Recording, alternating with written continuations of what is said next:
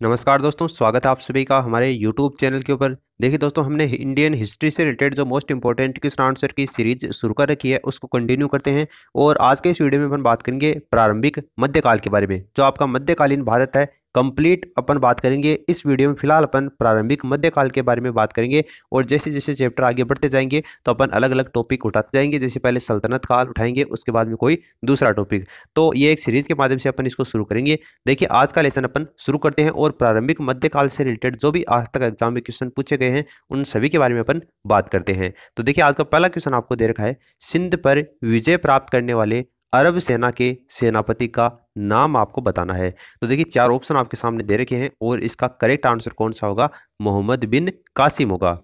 ये जो आपको चार ऑप्शन दे रखे हैं, उनमें से भारत के ऊपर पहली बार आक्रमण करने वाले अरब मुस्लिम थे और 712 ईस्वी में मोहम्मद बिन कासिम के द्वारा भारत पर आक्रमण किया गया था, जो कहाँ का निवासी था? एक अरब का निवासी था।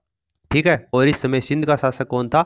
दाहिर था। दाहिर इस समय सिंध का शासक था, जिसे मोहम्मद बिन कासिम ने हराया था। तो ऑप्शन फोर्थ क्या होगा इस क्वेश्चन का? करेक्ट आंसर होगा।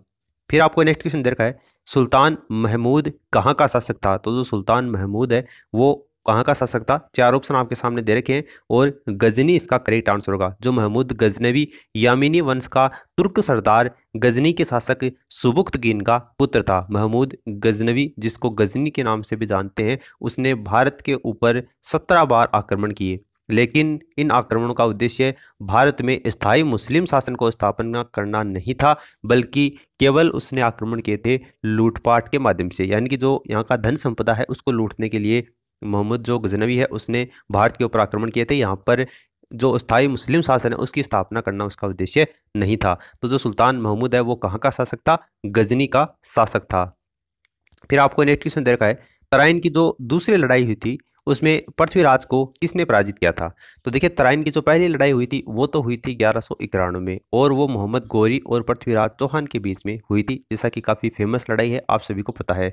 इस मैदान के ऊपर दूसरी लड़ाई लड़ी गई थी, और वो हुई थी ग्यारह ईस्वी में। प्रथम युद्ध हुआ था ग्यारह में, उसमें पृथ्वीराज विजय रहे थे, और जो दूसरी लड़ाई हुई थी ग्यारह में, उसमें मोहम्मद गौरी विजय हुए थे, और पृथ्वीराज पराजय हुई थी। तो आपको पूछा है कि तराइन की दूसरी लड़ाई, यानी कि ग्यारह में जो तराइन का दूसरा युद्ध लड़ा गया था, उसमें पृथ्वीराज को किसने पराजित किया था? तो तराइन का जो युद्ध है, वो मोहम्मद गौरी और पृथ्वीराज के मध्य हुआ था, इसलिए आपका जो ऑप्शन मोहम्मद गौरी दे रखा है, वो क्या होगा इस क्वेश्चन का? करेक्ट आंसर होगा। देखिए, किस लड़ाई में मोहम्मद गौरी के लिए दिल्ली क्षेत्र खोल दिया गया था? तो देखिए, इसका करेक्ट आंसर होगा तराइन की दूसरी लड़ाई में, ग्यारह बानवे ईस्वी में जो तराइन का दूसरा युद्ध लड़ा गया था, उसमें मोहम्मद गोरी के लिए दिल्ली क्षेत्र खोल दिया गया। इस युद्ध में मोहम्मद गोरी ने इस क्षेत्र के ऊपर जो शासन करने वाले पृथ्वीराज चौहान थे, उसको पराजित कर दिया गया था और इस क्षेत्र पर बाद में अपना अधिकार उन्होंने कर लिया था। ये जो क्वेश्चन है, वो इस तरीके से भी आ सकता है कि तराइन का जो द्वितीय युद्ध है, वो किसके बीच में लड़ा गया था? तो इसको अपन इस तरीके से बोल सकते हैं मोहम्मद गोरी और पृथ्वीराज चौहान के मध्य लड़ा गया था। तो तराइन की दूसरी लड़ाई ये क्या होगा? इसका करेक्ट आंसर होगा।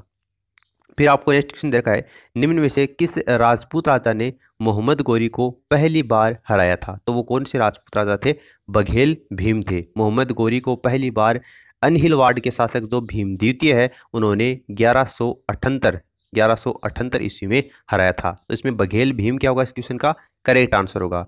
उसके बाद में आपको नेक्स्ट क्वेश्चन है, वो कुछ मिलान करने वाले क्वेश्चन में से आपको दे रखा है। देखिए, इसका राइट आंसर मैं आपको बता देता हूँ। आपको बताना है कि किसका मिलान सही किया गया है? तो ये जो आपको ऑप्शन दे रखे हैं, इनमें से देखिए, सुल्तान जो महमूद है, वो सोमनाथ को लूटने का कार्य किया था। तो ये आपको बिल्कुल सही दे रखा है। उसके बाद में आपको ये जो मोहम्मद गोरी सिंध पर विजय, अलाउद्दीन खिलजी, बंगाल में विद्रोह है, मोहम्मद बिन तुगलक और चंगेज़ खान पर आक्रमण, ये आपको इसमें गलत दे रखे हैं। महमूद, सुल्तान महमूद है, वो सोमनाथ को लूटना। ये जो घटना है, वो बिल्कुल सही दे रखी है। सुल्तान महमूद गजनवी के द्वारा सोमनाथ की लूट की गई थी और जो आपको शेष विकल्प दे रखे हैं, इनमें से जो ऑप्शन फ़र्स्ट होगा, वो इसका करेक्ट आंसर होगा।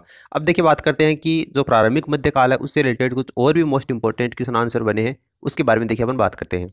तो देखिए, एक क्वेश्चन आपके एग्ज़ाम में पूछा जाता है कि अल बरूनी के द्वारा अरबी में लिखी किताब, जिसमें उप महाद्वीप का लेखा जोखा मिलता है, उसका नाम क्या है? तो देखिए, उस किताब का नाम क्या है? किताब अल हिंद।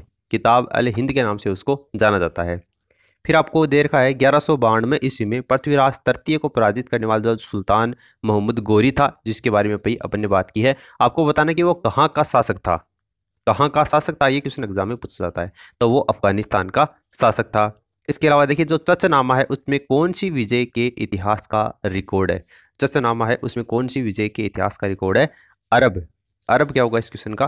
करेक्ट आंसर होगा। एक क्वेश्चन आपके एग्ज़ाम में आता है उपमहाद्वीप का जो लेख लिखने का कार्य है, वो गजनी के सुल्तान महमूद के द्वारा किस विद्वान को सौंपा गया था। ये क्वेश्चन भी कई बार एग्ज़ाम में पूछा जाता है। तो अल बरूनी को वो कार्य सौंपा गया था।